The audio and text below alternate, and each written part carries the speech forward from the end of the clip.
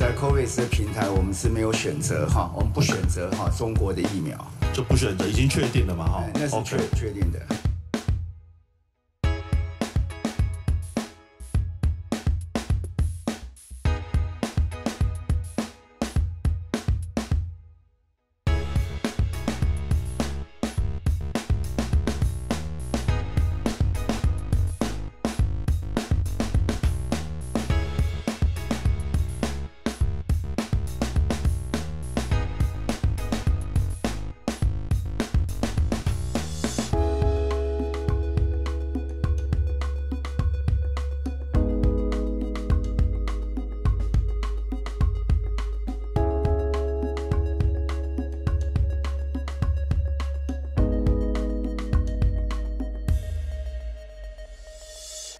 再就是问到疫苗的问题了哈，其实早上部长有说到哈，我国九月十八号已经跟 COVAX 签约，预计十月初会付定金。那请问这个部长，那签约是不是就是保证？那目前有 COVAX 有一百五十六个国家加入，那台湾确定等得到吗？到底要等多久？那会不会到时候会受到一些国际政治力的干预，让我们没有疫苗可以打？这个部分是不是给我们国人一个具体的时程？到底说明年第一季，还是说什么时候我们可以有取得这个疫苗的机会？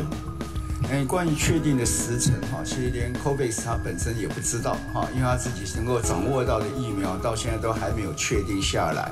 不过到目前来看，这个平台应该政治力的干预不多，哈，所以对于公平的分配这一点，我们是觉得有信心。那这个如果说像陈建仁副总前副总统啊，也说明说明年第一季可以打到疫苗，那这个部分的评估是不是太乐观？那再来就是说，如果未来中国大陆制造的疫苗，它率先通过了这个国际平台的这些标准的认可，台湾有没有可能买到大陆货？那大陆货人民是不是打了安心？这个部分是不是请部长来跟我们说明一下？哎，基本上只在明年第一季都会只在紧急授权使用哈。那大部分国家在那时候都会有一些紧急授权使用的疫苗。那不过要看它的一个安全性跟疫跟那个疫情这个严重度，那做一个专家的评估。然后第二个，在我们台湾哈，在 COVID 的平台，我们是没有选择哈，我们不选择哈中国的疫苗。就不选择，已经确定了嘛？哈，那是确确定的。好，那再来就是说，在这次的预算里面，在疫苗的防疫经费上面，哈，政府总共编列一百三十六亿，其中二十亿是用来鼓励国产疫苗的研发，那一百一十一亿作为国际疫苗的采购。那这个两两者之间，哈，大概预算差了将近六倍，哈，这样的差距是不是政府对我们国产疫苗的这个部分缺乏信心？嗯，应该是说这个二十亿是拿来哈。鼓励它相关的一些研发，哈，然后跟一些人体的试验，好，那至于在购买的时候，那还是以国产疫苗如果有的话，那我们有优先采购权。OK，那其实我们民众党在四月的时候有申请中研院提供疫苗研发的时程，当时回复说五月中到八月会和相关的法规单位来商讨疫苗剂型跟临床实验的规范，但是现在到了八月，呃。到明年三月进行的 GMP 等级的这个量产，现在已经九月了哈。国产的疫苗的进度是不是请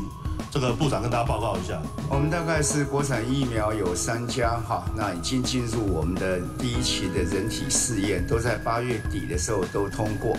好，那一家已经开始在哈人上面开始做，那有两家大概这个礼拜大概都会开始。那至于具体的时程，其实都会看他在人体研究的时候、临床的研究的时候有没有一些相关的状态，所以时间没有办法完全的掌握。那我想这个部长